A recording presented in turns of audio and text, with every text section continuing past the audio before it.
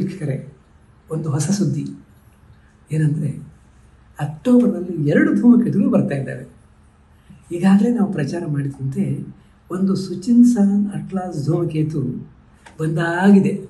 September ಇಪ್ಪತ್ತೇಳು ಸೂರ್ಯನ ಹತ್ತಿರ ಬಂದು, ನಾನು ಹಿಂತಿರುಗ್ತಾ ಇದ್ದೇನೆ ಅಂತ ಹೇಳ್ತಾ ಉಂಟು. ಈಗ ಬೆಂಗಳೂರಿನಲ್ಲಿ, ಉಡುಪಿಯಲ್ಲಿ ಎಲ್ಲ ನಾವು ನೋಡಿಯಾಗಿದೆ ಇಡೀ ವಿಶ್ವಕ್ಕೆ ನಮಗೆ ಆ ಧೂಮಕೇತು ನೋಡಿಯಾಗಿದೆ ಇದು ವರ್ಷದ ಧೂಮಕೇತು.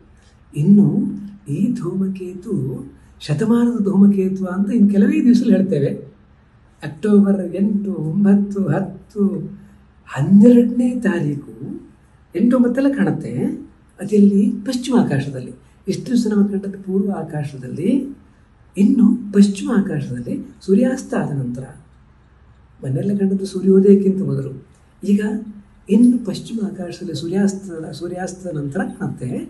ಹನ್ನೆರಡನೇ ತಾರೀಕದು ಹಿಂತಿರುಗುವಾಗ ಸೂರ್ಯನ ಹತ್ತಿರ ಬಂದು ಹಿಂತಿರುಗುವಾಗ, ಅದು ಭೂಮಿಗೆ ಸಮೀಪ, ಸುಮಾರು ಏಳು ಕೋಟಿ ಕಿಲೋಮೀಟರ್ ಹತ್ತಿರ ಇರುತ್ತೆ.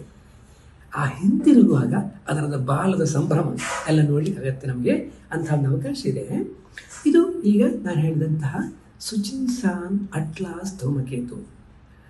ಈ ಧೂಮಕೇತುಗೆ ತುಂಬ ಪ್ರಚಾರ ಸಿಕ್ಕಿಯಾಗಿದೆ ನಮಗೆ, ಬೇಕಂಬಷ್ಟು ಪ್ರಚಾರ ಸಿಕ್ಕಿಯಾಗಿದೆ ಆ ಧೂಮಕೇತು ಬರುತ್ತೆ, ಹೀಗಾಗತ್ತೆ, ಇದು ಈ ವರ್ಷದ ಧೂಮಕೇತುವ ಅಥವಾ ಶತಮಾನ ಧೂಮಕೇತು ಅಂತ. ಶತಮಾನದ ಧೂಮಕೇತು ಅಂದರೆ ಒಂದು ಕೆಲವು ದಿವಸ ಅದರ ಬಾಲವನ್ನು ಬೀಸಿ ಅದರ ಸಂಭ್ರಮೋತ್ಸಾಹ ರಾತ್ರಿ ಆಕಾಶದಲ್ಲಿ ಅಂತ ಇದ್ದರೆ ಶತಮಾನದ ಧೂಮಕೇತು ಅಂತ ಹೇಳ್ತೇವೆ. ಬರೀ ಕಣ್ಣಿ ಕಂಡ್ರೆ ಅದನ್ನು ವರ್ಷದ ವರ್ಷದ ಧೂಮಕೇತು ಅಂತ ಹೇಳ್ತೇವೆ. ಇದೀಗ ಬರೀ ಕಣ್ಣಿ ಕಾಣ್ತಾ ಉಂಟು.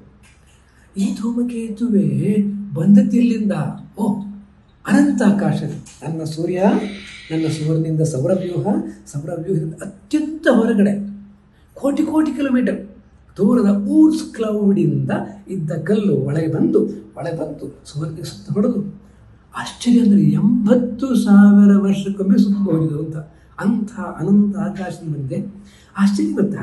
ಒಂದು ಹತ್ತು ಕಿಲೋಮೀಟರ್ ಗಾತ್ರದ ಕಲ್ಲಿದು ಈ ಹತ್ತು ಕಿಲೋಮೀಟರ್ ಗಾತ್ರದ ಕಲ್ಲಿನ ಮೇಲೆ, ಅದರ ಮೇಲೆ ಐಸ್ ಲೇಯರ್ಸ್ ಯಾಕಂದ್ರೆ ಅಷ್ಟು ಅನಂತ ಆಕಾಶ ಹೋಗಿರುತ್ತಲ್ಲ. ಅಂತಹ ಶೀತಲಕ್ಕೆ ಹೋದಾಗ ಎಲ್ಲ ಅಂಶಗಳು ಆರ್ಗ್ಯಾನಿಕ್ ಮಾಲಿಕ್ಯೂಲ್ಸು ಕಣಗಳು ಐಸು ಎಲ್ಲ ಹೆಪ್ಪುಗಟ್ಟಿ ಇರ್ತವೆ.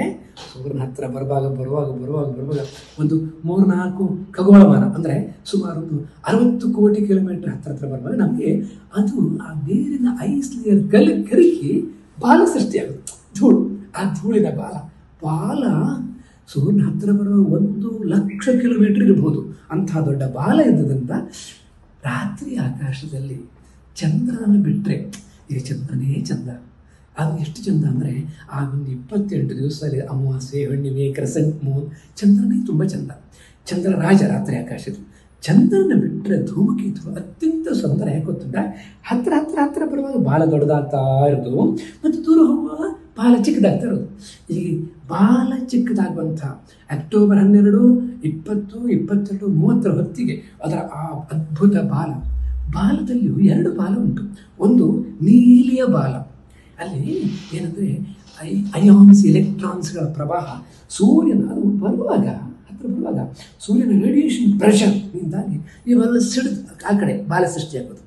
ಆ ಅಯಾನ್ ಬಾಲ ನೇರ ಹಿಂಭಾಗ ಇರುತ್ತೆ. ಇನ್ನೊಂದು ನಮ್ಮ ತೇವಾಂಶ, ಧೂಳಿನ ಕಡೆಗಳ ಬಾಲ, ಆ ಬಾಲ ಹೀಗೆ ಅದು ಸುಂದರ ಚಿತ್ತಾರ ಮಾಡಬಹುದು ನನಗನ್ಸುತ್ತೆ, ನಾಡ್ದು ಅಕ್ಟೋಬರ್ ಹನ್ನೆರಡು, ಅದು ಅತ್ಯಂತ ಸುಂದರ ಚಿತ್ತಾರ ಮಾಡುತ್ತೆ. ನೋಡುಗರಿಗೆ, ಓ, ಪಶ್ಚಿಮ ಆಕಾಶದಲ್ಲಿ ಸೂರ್ಯಾಸ್ತ ಆದ ಓ, ಇದೇನಿದು? ಓ ಧೂಮಕೇತು ಬಂದಿದೆ ಅಂತ ಹೇಳುವಂಥ ಒಂದು ಸಂಭ್ರಮ ಸೃಷ್ಟಿಸುತ್ತೆ. ಇನ್ನೊಂದು ಆಶ್ಚರ್ಯ ಗೊತ್ತಾ ನಿಮಗೆ? ಇದರೊಟ್ಟಿಗೆ ಇನ್ನೊಬ್ಬರು ಬಂದಾಯ್ತು, ಇನ್ನೊಂದು ಧೂಮಕೇತು ಅದಕ್ಕೆ ಹೇಳಿದ್ದೆ ತಿಂಗಳಲ್ಲಿ ಎರಡು ಧೂಮಕೇತು ಅಂತ. ಇನ್ನೊಂದು ಸನ್ ಗ್ರೇಜರ್ ಧೂಮಕೇತು ಅಂತ ಕಾಮೆಂಟ್ ಅಂತ ಅದು ಪುನಃ ಸನ್ ಗ್ರೇಸರ್ ಕ್ಲಾಸ್ ಅಂತ ಹೆಸರು. ಆಶ್ಚರ್ಯ ಗೊತ್ತಾ? ಮೊನ್ನೆ ಸೆಪ್ಟೆಂಬರ್ ಇಪ್ಪತ್ತೇಳಕ್ಕೆ ಸಮೀಪ ಬಂದಂತಹ ನಾನು ಈಗ ಹಿಂದೆ ಹೇಳಿದಂಥ ಆ, ಏನು ಆ ಸುಚಿನ್ಸಾನ್ ಧೂಮಕೇತು ಉಂಟಲ್ಲ ಅದು ಸೂರ್ಯನ ಸಮೀಪ ಬಂತು. ಅದೇ ದಿವಸ ನೋಡಿದಂಥ ಧೂಮಕೇತು ಇದು. ಇತ್ತೀಚೆಗೆ ಮೊನ್ನೆ ನೋಡಿದ್ದಷ್ಟೇ. ಹಾಗೆ ಒಂದು ತಿಂಗಳು ಆಗುವುದಿಲ್ಲ ಅಕ್ಟೋಬರ್ ಇಪ್ಪತ್ತೆಂಟಕ್ಕೆ ಅಂದರೆ ಸೆಪ್ಟೆಂಬರ್ ಇಪ್ಪತ್ತೇಳರಿಂದ ಅಕ್ಟೋಬರ್ ಇಪ್ಪತ್ತೆಂಟಕ್ಕೆ ಸೂರ್ಯನ ಸಮೀಪ ಬಂದಾಗುತ್ತದೆ.